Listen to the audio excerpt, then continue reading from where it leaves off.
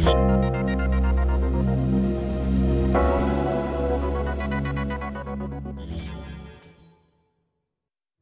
いどうもこんばんは。土曜日の素敵な夜をいかがお過ごしでしょうか。クラバックと常務取締役の雛形龍太です。すげえ。これなんかスタジオちょっと綺麗になってわかるかな？なんかこれ画質良くなってんのかな？違う。あでもちょっと良くなってんのか。すげえ。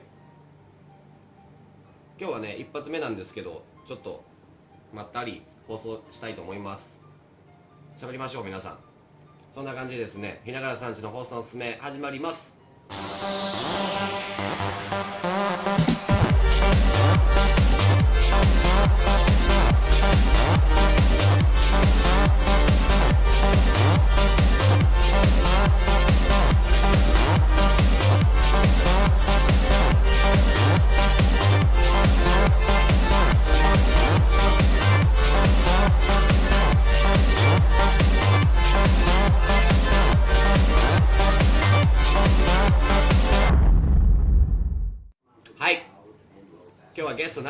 ざいます。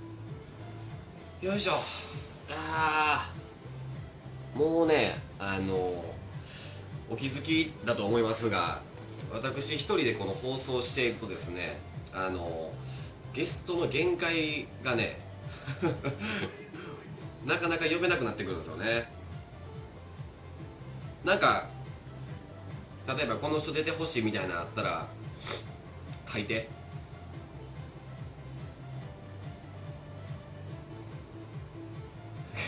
ゲストの限界有役所みたいな部長さん部長さんおらんで。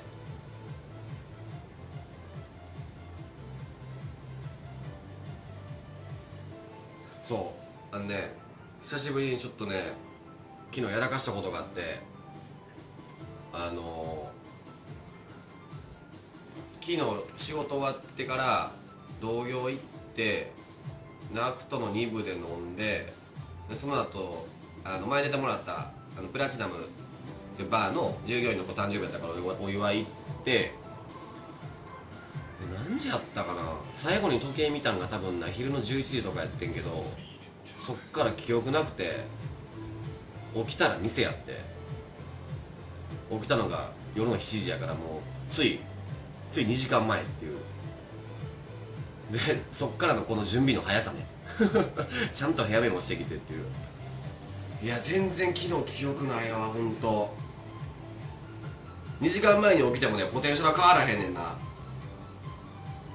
俺多分知ってる人は知ってるけどその二日酔いせえへん体質で体がねもうやめてって言わへんくなるから結局ねまたこうやって飲んでるしな。頭おかしいな多分な。さすがプロですよ本当に。まだまだねポスト入って3年目やのに。飲んでるな。本当昨日めっちゃ飲んでんな。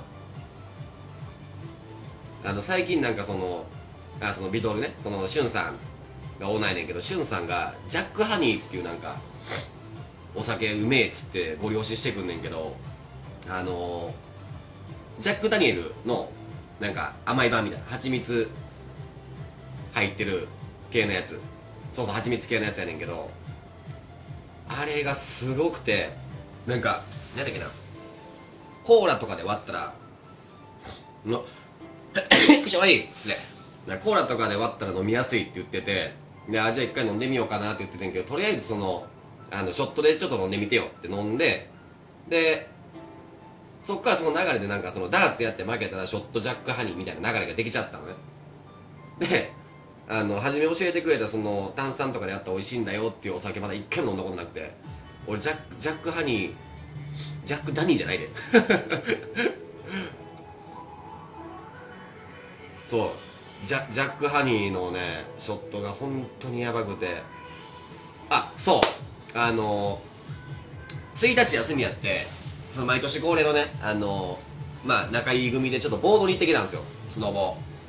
でその時もしゅんさん一緒に行こうって言ってうちの店の従業員としゅんさん一緒に行ってでいつもこう買い出しすんねんけどあのいつもこうビールをワンケースと例えば焼酎お茶焼酎こんなでっかい使ってあの夜会をやるのねいつも。旅館で。その時にしゅんさんが俺らみんなで買おうっていうカゴ以外で個人的にジャックハニー買いやがって。でその1本を何時やったかな？旅館入ったのが多分夕方5時でご飯食べて9時ぐらいに昼寝して12時に起きて12時から飲み会が始まったの。野郎同士の。でしゅんさんワニワニパニックとか持ってきて3時間でジャックハニー開いたか。であの焼酎もねでっかいあの何と 2. 点なんとかリットルみたいなやつも飲んでまあ俺途中で死んで寝てんけどジャックハニーは本当にやばい。ジャックハニーって名前で売ってると思う多分。いや本当に。あそうだ。あのー、一発目の放送やから2月のえっ、ー、とねナンバー発表しますしますか。まあいつも通りなんですけどね。えー、とりあえずじゃあ、えーと、売上からナンバー発表します。えー、売上ナンバー3が、えー、私雛形龍太常務取締役、えー、ナンバー2が、えー、椎名正樹社長。そしてナンバーワンが、えー、正木雄生代表取締役。まあまあいつも通りですね。で指名本数指名本数、えー、ナンバー3が、えー、マコ。でナンバー2が、えー、私雛形龍太常務取締役。そしてナンバーワンが正木雄生代表取締役ですね。万年ナンバー2でもなくなってるな。最近なんかあかんな本当なんか締め日意気込んでいっても結局勝てへんねんな。そうやなナンバー1か3のイメージやな。ナンバー2もあのあれ先々月ナンバー2やったかな。まあでもねあくまでナンバーワンというから仲間たちやから一番との意味がないんですけどね。今年はねあの年間目標言ったからちょっとそれに向けてちょっと頑張っていこうと思います。いやほんと愉快な仲間たちやで。すでにキープしたいけどな一番。最近なマコさんがすごいなんか指名本数グイグイくんねんな。ちょっと危なかったし。休んでたブランク休んでたブランクはもうないかな。もう多分星もほとんど出てないしお酒も普通に飲んでるから。いやでもご飯やな。ご飯をちゃんとその気使って食べようになったからみんな多分ねあのおじいちゃんとかおばあちゃんとかさお母さんにご飯ちゃん食べなさいって言って言われてるのアホらしいと食ったら一緒やろと思ってるかもしれんけどご飯治療はマジですごい。なんか酸性アルカリ性って言ってこう2つに分けた時にその酸性のものが揚げ物とかばっかりやねんけどアルカリ性の、えーまあ、大豆とかさあの豆系？なんか植物性のものみたいなをメインにご飯作って3食食べると次の日が全然違うやっぱり。でその日も元気やしな。で俺らお酒飲むから特に揚げ物とかはねよくないからアルカリ乾電池ってボケも甘いやなんか。突っ込みにくいわ。もっともろく言わんかい。仕事終わった後ご飯食べる食べる。仕事前軽く食ってお酒飲んで仕事終わりがっつり食うかな。そう食べて太らへんねんな。一昨年の年末に5 6キロいったの。これ俺人生マックス体重やねんけどこの間ボード行って温泉入った後体重計乗ったら53キロになってて3キロ落ちててさ飯食ってんのになんで落ちるのか分からへんねんな。しかも大きくならへんし。そう食べてんのになんか全然全然ダメ。でバランスバランスいいからな。顔もちっちゃいし身長も高いし。神様ありがとうやな。食べるものがいい食べるものがいいんか。そういうことか。胃袋胃袋もでも普通だしな。イカ水でもないし。ちゃんと出んねんけど。なんやろ。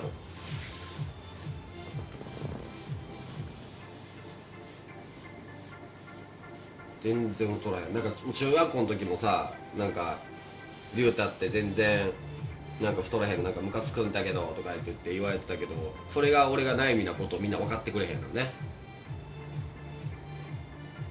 痩せ太ってる人が痩せれへんように痩せてる人が太るのもすごい大変やねん。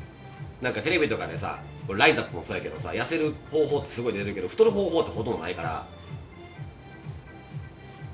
中学高校はもうずっとプロテインで弁当2つとかで結構頑張ってんけど運動もしてたし。どうやって大きくなるのかな？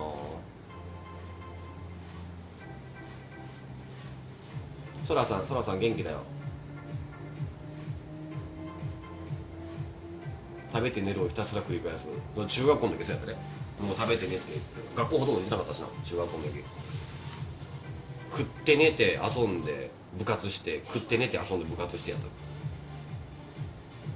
吸収してない。吸収してないかな。相撲部屋は無理やわ。部活陸上ホッケーって言って分からへんよな多分。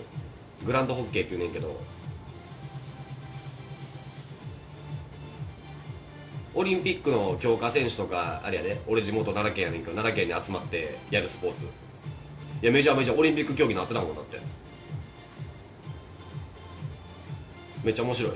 あのー、ロッチのさ中岡がやってたらしいなんか昔なんだっけなドリームマッチかなんか新年のやつであのー、陸上ホッケーのネタやっててんけど俺知ってるからめっちゃおもろかったんけど知らん人見たら面白くないやろなあれな。あもじゃもじゃの方。そうそうそうそう。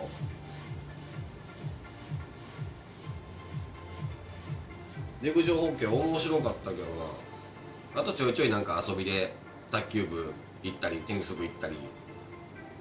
なんか先生おらん時にさ。いやパックじゃないねんで陸上やからなんか硬いボールやろ。多分こうバーンって打ってガンっていったら顔面多分複雑骨折するぐらい硬いボールやろ。なんか何歳かな。なんかラケットがさこれでいいかなんかこのこうこうアイスホッケーってこうこうこうなってるわけじゃんこうでも陸上ホッケーはこっち側しか使えへんのこっち側使った反則でこっち側でこうこうこうってこうドリブルしてでこっちで打つみたいなそれをスパイク履いてグラウンドでやんのよ。でも勝手スティック勝手ボールやからすね当てもつけんねんけどすね当て意味ないぐらい痛いから余裕で怪我するからな。めっちゃ激しいで。打つ時さーって言わへんな。ってやった。結構激しい結構激しい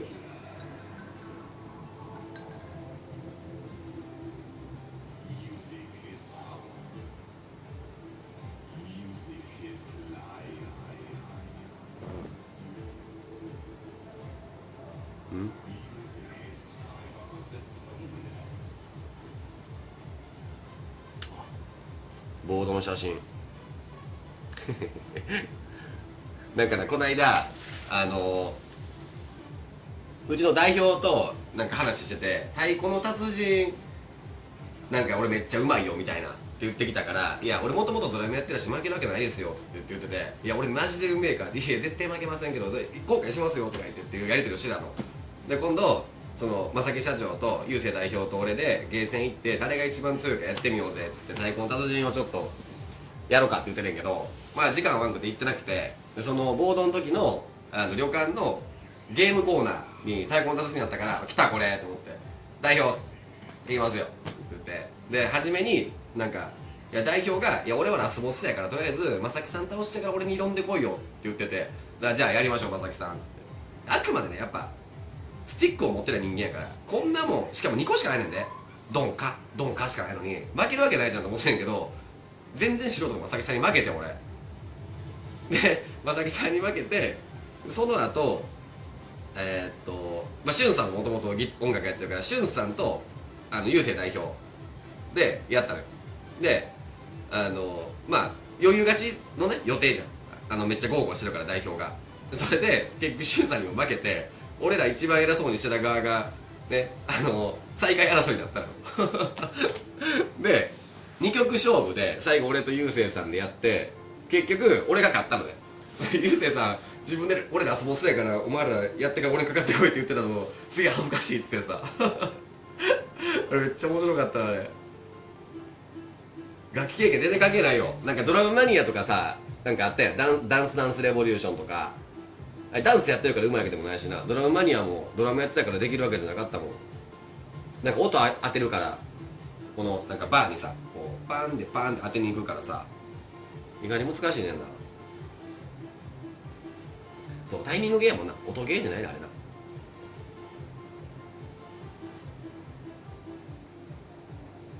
ゲーム懐かしいな。お一回 CM いきますか。15分経った。じゃあ一回 CM いきます。先輩！なんだ？どうしても売りたいんです！でもなかなかうまくいかなくて。お前らロミジュリのシステム知ってるか？だから頑張れば売れるんだよ！ええ絶対やります！一生ついてきます。お前らやっぱりロミジュリだな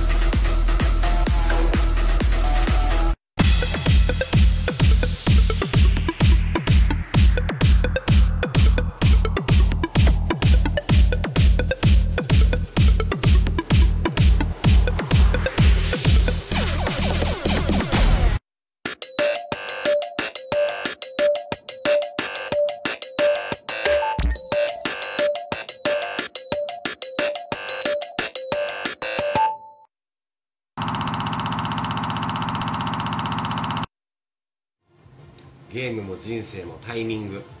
素晴らしい名言ですね。最近でも全然ゲームしてない。あしてるわ。あのツイッター見てる人って分かるけど、ね、今ね KOF っていうゲームずっとやってるな。キングオブファイターズ。俺の年代の男の子が分かるゲームやな。いやスイッチのあれ面白そうやんな。どうしたってやつってどうしたってなんや？ああそうそうそうそうそうそうそう。市原隼人が CM やってるやつ。ゲームなあのプレステ2が出た時はずっとゲーム買ってて。でプレステ3が出てからプレステ持ったらやばいなと思って買わんかってんな。あの絶対外出えへんくなるから。でプレステ2プレステ3買わずに4が出てででその時もずっとプレステ2やっててで結局買わず FF の7のなんかリメイクが出るって言ってそれで一回プレステ4買おうかなって悩んで結局買ってなく買ってなくそう結局なんか買ってないな。今だからホスト始めてそのゲームなんかやったらもう仕事ならんからだから空いた時間にこうやって携帯触ってこうやってずっとあの KOF やってるぐらい。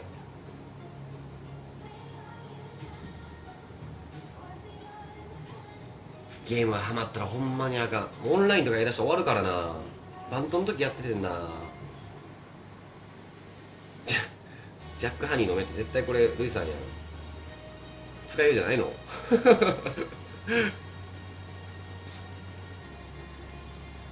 昨日もゴリゴリ飲んだからなジャックハニー一回さそのみんなさそのなんか友達同士でさ宅飲みとかする時とかにあのちょっと一本買って罰ゲームでちょっとやってみて。あれほんまにきついからすごいで。潰れはせえへんと思う。なんか飲みやすいって言われたら飲みやすい。バレたって言うけどルイさん毎回毎回コカレルとかジャックハニーとか飲めとかしか言わへんから見たら分かる。ジャック・ダニエルテネシーハニーっていうやつだから分からへん。そんなん書いてたかな。完全に二日酔いでしょうね。俺昨日多分一緒に飲んだ覚えてないでしょ。アマゾンで調べたらジャック・ダニエルテネシーハニー。あそうなんや。じゃあそれそれじゃない多分。テネシーハニー。アマゾンって何でも売ってるな。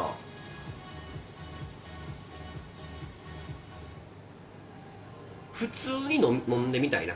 なんかソーダとかではってな。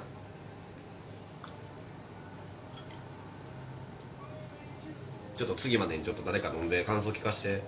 俺多分当分ロック以外飲むこともないから。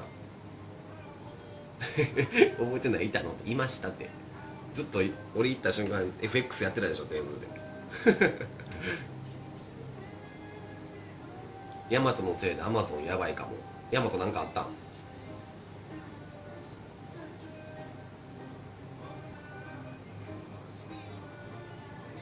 ていうかそういえばあれアスクルやばかったよな。アスクルもなんかあれじゃなかったっけ？運送会社じゃなかったっけあれ？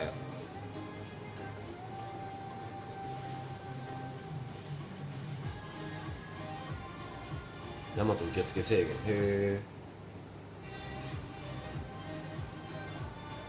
最近やっぱ乾燥やから火事多いよな。怖いわちょっと。倉庫か。倉庫ってことでもう在庫置いてたってことでしょ。3日4日ぐらい燃えてなかったっけあれ。なんか店でその話しててんな。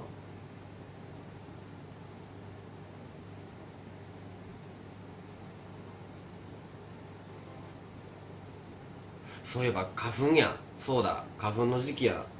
みんな花粉やばい。俺年中鼻炎やから花粉症ならへんから花粉効かへんねんな。ずーっと鼻詰まってる。花粉やばいんや。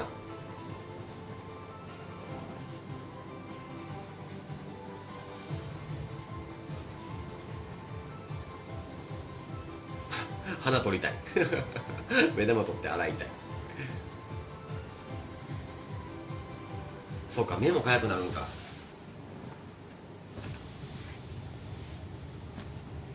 花粉って何のためにあんの？あれじゃないの？その花たちがあの受受受精するために頑張ってんじゃないの？飛んでんじゃないの？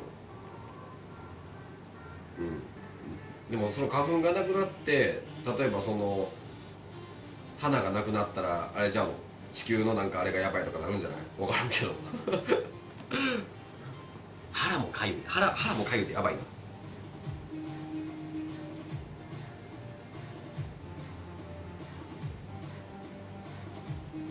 腹は絶対別やな。俺もそう思うわ。腹腹かゆいで絶対違うよな。何でも花粉のせいにしてるやろ。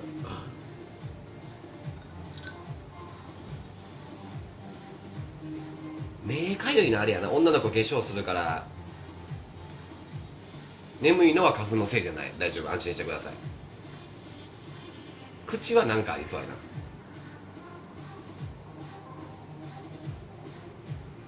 そっか。俺がじゃあ先月ナンバー3やったも花粉のせいかな。花粉いらんなじゃあな。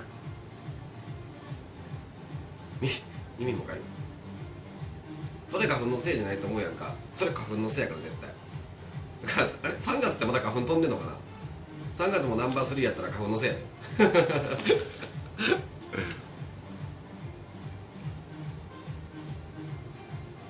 4 月までバリバリ飛んでんねや。分からんからな。今からシーズン迎えるのね。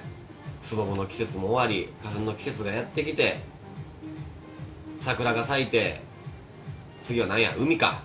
秋？秋？秋なんや。紅葉ね。紅葉からの海やな。世の中にマスクとゴーグルが増えます。ああそうかそうか。マスクでもいつもしてるからな喉弱いし。紅葉からのからのからのからの海やってたから。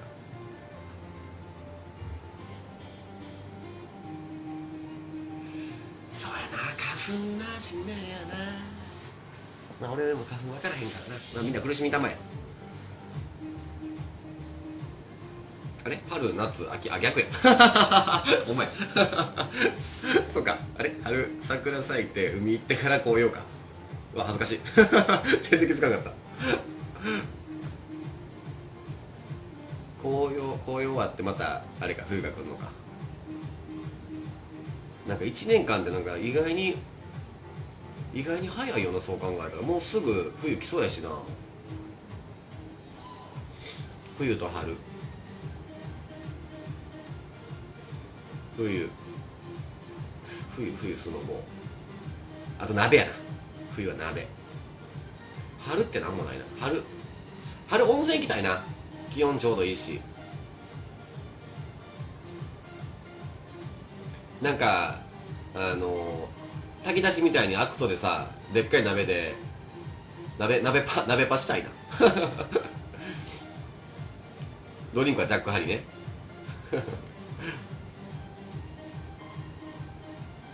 温泉冬。温いや冬やったら寒いやん結局。だからその秋とか春とかのなんかちょうどいいぐらいでその浴衣着てその温泉が歩きたいのよ。春は出会いと別れの時期。年中出会いと別れあるけどな。お客さん嫌いな春とかじゃないし。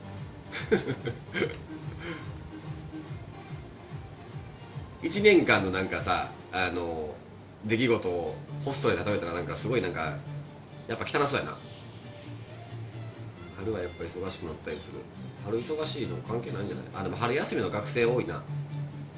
夏休みも学生多いしな。大大学生とか全然来るで。休みで来てるとか。その長期休みのシーズンとかめっちゃ来るから。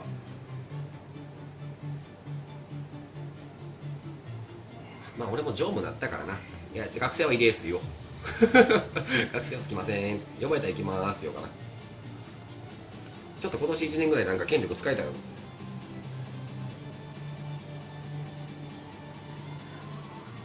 最近なんか知らんけどなんかだからな。みんななんか俺なん何でもやってくれると思ってる節があんねんな。学割学割ねえよ。学割でも面白いな。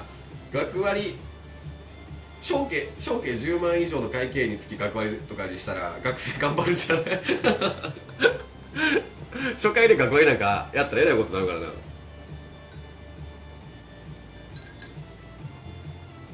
おやべ1分前。早いな。あ新春サービスもうあれや。終わってるわ。あの終わ終わってるから後で消しといてくださいこれ。忘れてた。あと1分前なんでちょっとね告知やります。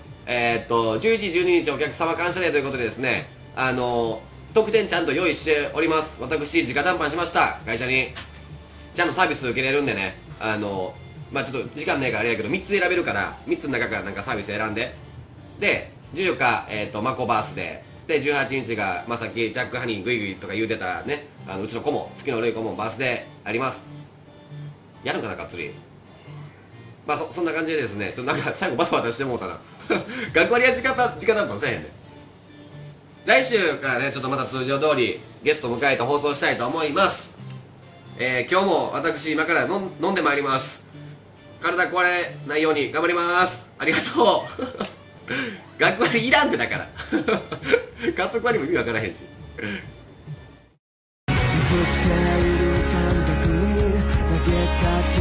でもなく黙り込ん